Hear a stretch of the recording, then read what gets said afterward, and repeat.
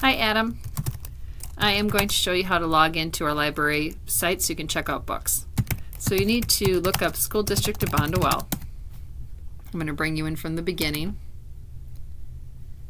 And then on any one of these tabs, you go down to Library Media Center. Here's the login. Your username is Destiny Admin and the password is on your sheet. So I don't want that out on YouTube. Once you hit login, you choose elementary school. You'll be going to circulation and checkout. And you can find the student's name by asking them their his or her name and then in the book for the checkout book you just scan it or you can do it by last name like for instance me